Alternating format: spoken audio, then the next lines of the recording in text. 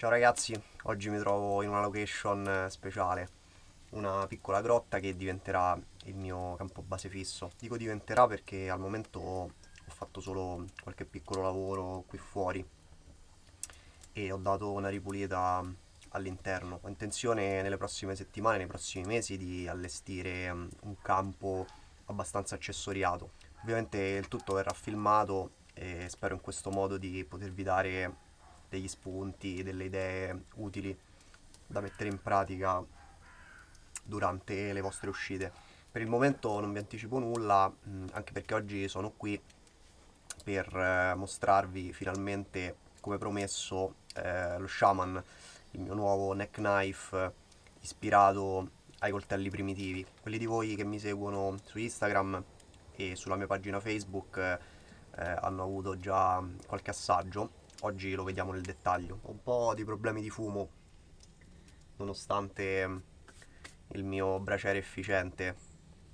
Chi mi segue su Instagram eh, sa di cosa sto parlando. Il problema è la legna bagnata, qui piove praticamente ininterrottamente da una settimana, quindi è stato arduo accendere il fuoco ed è arduo alimentarlo. Uh! Magari mi sposto un po' di più verso di voi insieme ai miei appunti. L'idea di farmi fare mm, un coltello personalizzato mi frulla nella testa già da un po', eh, da quando ho creato il mio brand Secrets of the Ancients e da quando ho cominciato a tenere corsi di tecniche di sussistenza primitive. Il mio obiettivo con Secrets of the Ancients è di fornire una didattica nuova, interessante, su un argomento che in Italia è ancora poco conosciuto. Per fare questo ho studiato e continuo a studiare tuttora eh, il minimalismo in tutte le sue forme, cercando di farlo diventare un vero e proprio stile di vita chiaramente nei limiti del possibile. Mi piaceva l'idea di possedere un utensile da taglio eh, semplice, eh, piccolo e versatile con cui fare un po' di tutto. Dove prendere spunto se non dai coltelli primitivi, eh, attrezzi semplici eh, per eccellenza, eh, la cui efficacia dipendeva eh, dall'abilità di chi li usava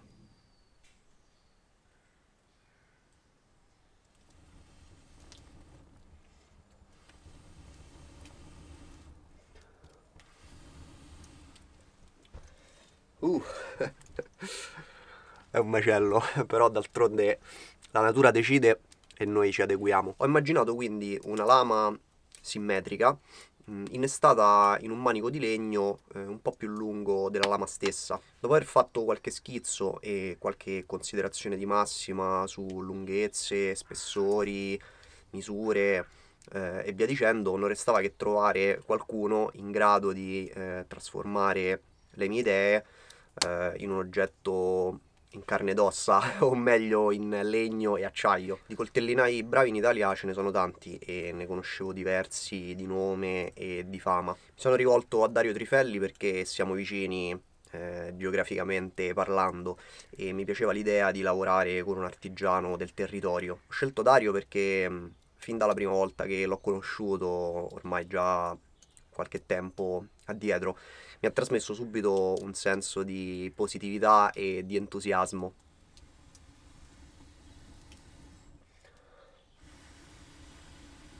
Ogni volta che lo incontro è sempre felice, sempre sorridente, ha quella spensieratezza, diciamo, da ragazzino, eh, con cui io non sono più abituato ad avere a che fare perché noi poveri trentenni ormai siamo ci siamo abbandonati al, um, alla rassegnazione e al cinismo.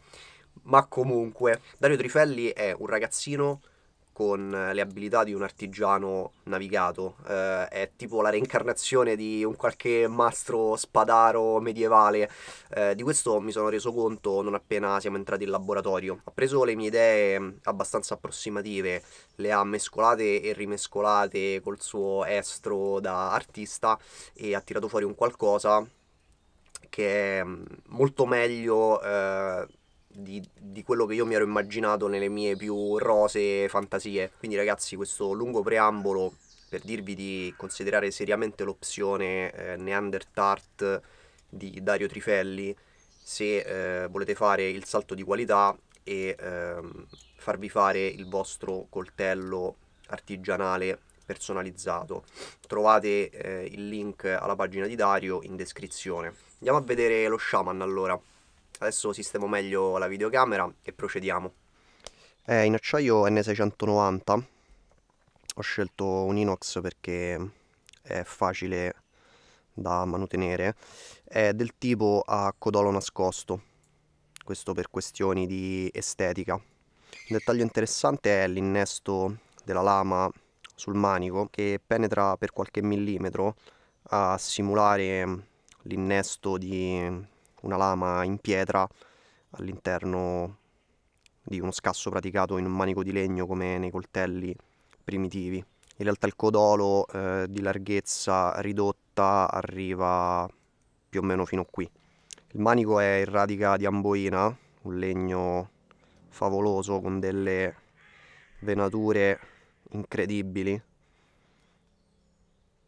Abbiamo inserito uno spaziatore in G10 bianco che rimanda um, ai colori dell'osso e del corno e che a prima vista dovrebbe simulare una legatura eh, come nelle manicature primitive in tendine o in fibra vegetale. La finitura della lama eh, vuole simulare una pietra scheggiata e dare un aspetto più grezzo mh, al coltello. La bisellatura è piana. È ormai circa un mese che utilizzo questo coltello e mi sto trovando benissimo, è veramente un attrezzo utile e versatile con cui si può fare praticamente qualsiasi cosa se si rimane ovviamente nel campo dei lavori non gravosi.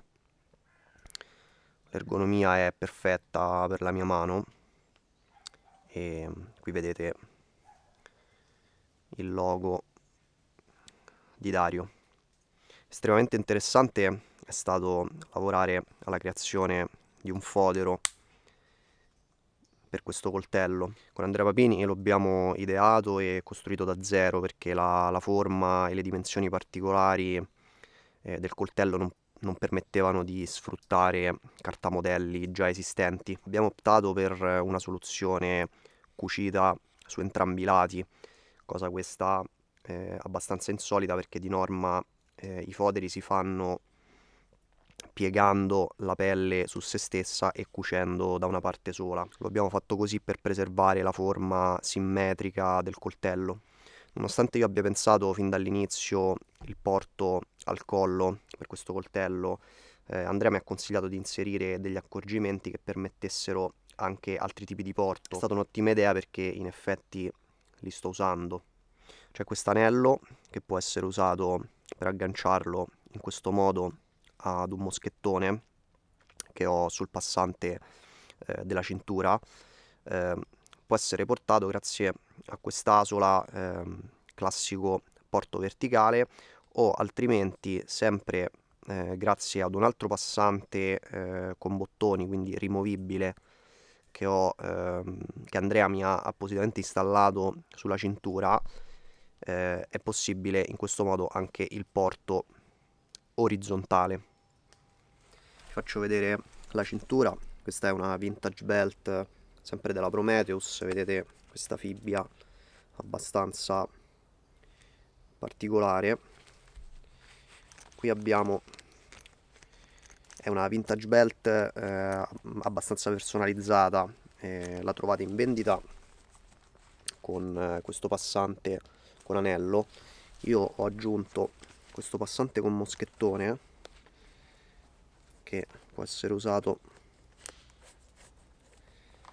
per agganciare il coltello.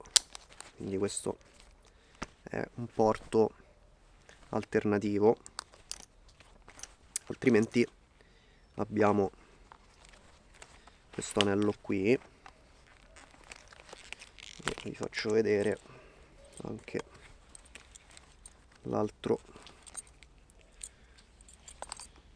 tipo di porto. Eccoci qua questo è il porto orizzontale. Molto comodo per me. E poi c'è il classico. Questo è l'anello con i bottoni. E poi c'è il classico porto verticale. Sia fodero che cintura nello specifico perché Andrea è molto scrupoloso sui materiali e ci tiene, sono realizzati in bacchetta toscana conciata al vegetale, eh, un tipo di cuoio di altissima qualità ehm, che è un nostro, una nostra eccellenza ehm, italiana e toscana. Andate a visitare il negozio online di Prometheus Bushcraft Equipment, eh, ragazzi, perché ne vale veramente la pena. Trovate il link in descrizione, mh, mm, così come trovate i link di eh, tutti mh, mm, gli oggetti eh, Prometheus che io ho testato, che possiedo, che utilizzo abitualmente e che quindi vi consiglio. Bene ragazzi, per oggi è tutto. Spero che questo video vi sia piaciuto. Vi invito ad iscrivervi al canale perché nei prossimi video cominceremo ad allestire qui tutta la baracca. Magari lasciatemi qualche feedback, fatemi sapere che cosa ne pensate eh, sullo shaman, fatemi sapere quali sono i coltelli che voi eh, utilizzate abitualmente e quali sono i motivi per cui li avete scelti. Ricordatevi di seguirmi su Instagram perché tutte le novità passano prima da lì compreso il braciere efficiente che non funziona. Se invece volete partecipare ad uno dei miei corsi sulle tecniche di sussistenza primitive, fate riferimento alla mia pagina Facebook, Secrets of the Ancients, eh, oppure contattatemi direttamente che ci facciamo due chiacchiere, trovate tutti i recapiti sul mio sito e tutti quanti i link come al solito in descrizione. Vado a mettere un po' di legna sul fuoco, state bene e ci vediamo ad un prossimo video.